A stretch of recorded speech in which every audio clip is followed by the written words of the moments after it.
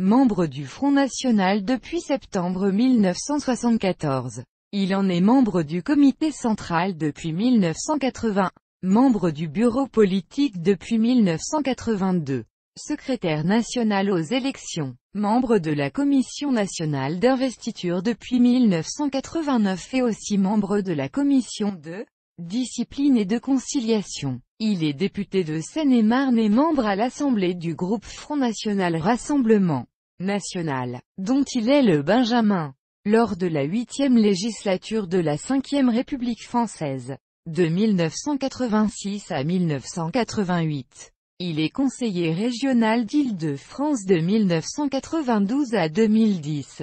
Le 21 mars 2010, tête de liste du FN dans le département des Vosges.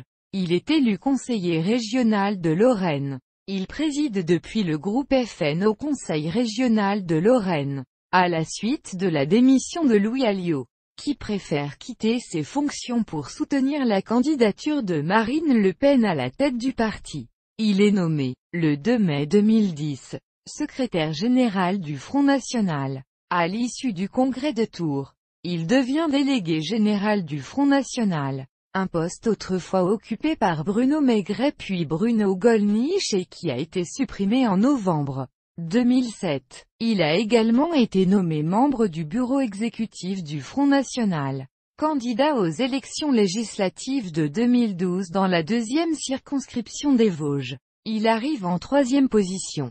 Derrière le sortant UMP Gérard Cherpion et le socialiste Jack Lang. Avec 17. 44% des suffrages exprimés.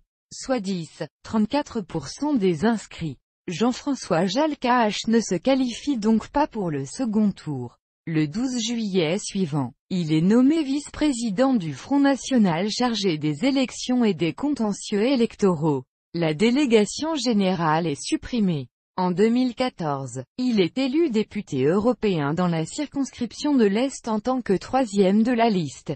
Front National qui recueille 28. 98% des suffrages. Au sein du Parlement européen, il est membre de la Commission de l'environnement, de la santé publique et de la sécurité alimentaire et de la délégation pour les relations avec l'Afrique du Sud. Il est aussi membre suppléant de la Commission de la culture et de l'éducation et de la délégation pour les relations avec le Japon. En l'absence de Marine Le Pen, il préside la réunion du bureau exécutif du FN aboutissant en 2015 à l'exclusion de Jean-Marie Le Pen.